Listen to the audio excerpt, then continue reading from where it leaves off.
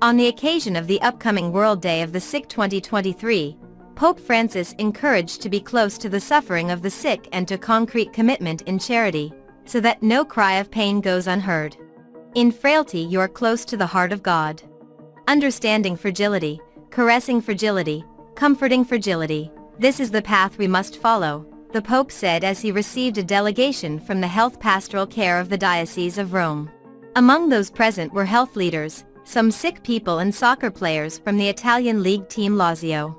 In his address, the Holy Father asked the sick to pray that among us there may grow a closeness to those who suffer and a concrete commitment to charity, and that no cry of pain may go unheard. In addition, the Pope recalled that the theme of the World Day of the Sick 2023 is Take Care of Him, a phrase found in the Good Samaritan's recommendation to the innkeeper in the parable recounted in St. Luke's Gospel. Along these lines, the Holy Father highlighted three important recommendations, to draw close to those who suffer, to give voice to unheard suffering, and to become a committed leaven of charity. Referring to the closeness to those who suffer, the Pope encouraged to offer listening, love and welcome.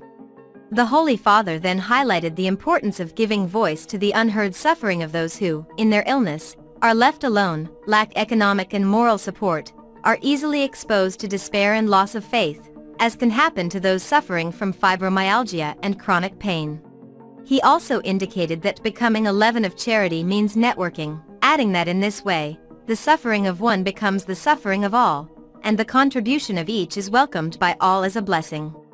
Let us launch this challenge to our cities, sometimes deserted of humanity and deaf to compassion, invited the Pope who also encouraged not to be discouraged and assured his prayer for this pastoral commitment, he concluded.